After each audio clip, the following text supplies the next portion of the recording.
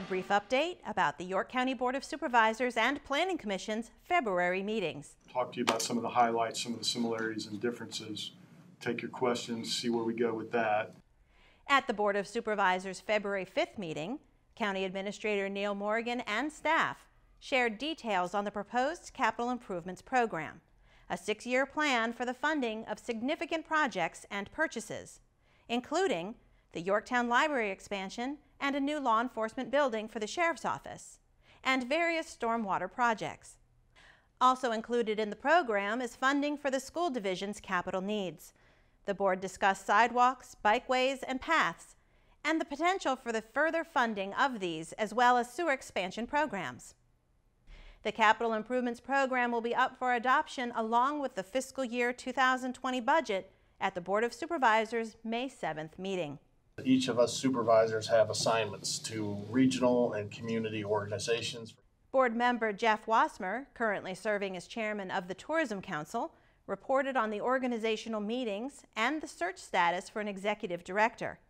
He also briefed the board on the advertising campaign and how the council is appropriating the new revenue and what it means for the region. These are the members of the council. Uh, these are called out again by legislation. It's not just uh, us deciding who would be on it. The actions of this council are for the good of all of the community. And so they're not there to represent the interests of Colonial Williamsburg or Busch Gardens. They're really there to bring their expertise and make decisions best for the community. The council has established a development fund for potential infrastructure and a healthy reserve balance.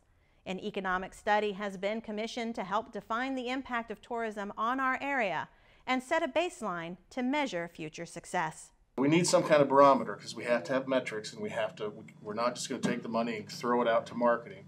We're going to see where we put it and make sure there's return. So this economic study will be great for all of the tourism industries uh, in our area, but also the municipalities.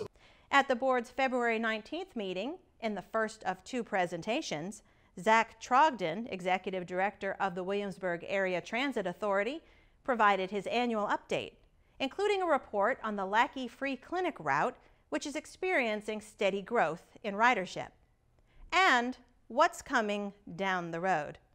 Thank you for having us back. We were here last year about this time. I certainly think we have a tremendous amount of support from, from this community, this board. We have a tremendous amount of support to do what we need to do. Joe Brogan, manager of DPW's stormwater programs, shared an update on the total maximum daily load, what we call TMDL, mandated guidelines for stormwater runoff affecting the Chesapeake Bay. The TMDL action plan required a 5% reduction by 2018, but York County well exceeded that amount. TMDL is very important to all of us, and we all share in this success. The Total reduction was approximately 25%, so we only have 15% more to go. York County is well on its way to meeting the 2023 Phase 2 requirement for chemical runoff reduction. And there were no public hearings held at this meeting. All supervisor meetings are live on WYCG TV, Cox 46, Verizon 38, or live streaming on yorkcounty.gov/tv.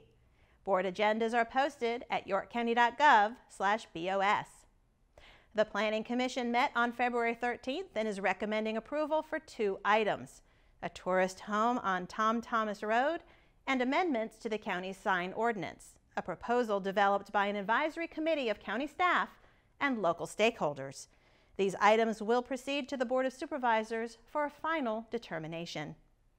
Just a reminder that, like the Board of Supervisors, the Planning Commission meetings are also televised live on WYCG TV and live streaming on yorkcounty.gov/tv, with meeting agendas available at yorkcounty.gov/planning.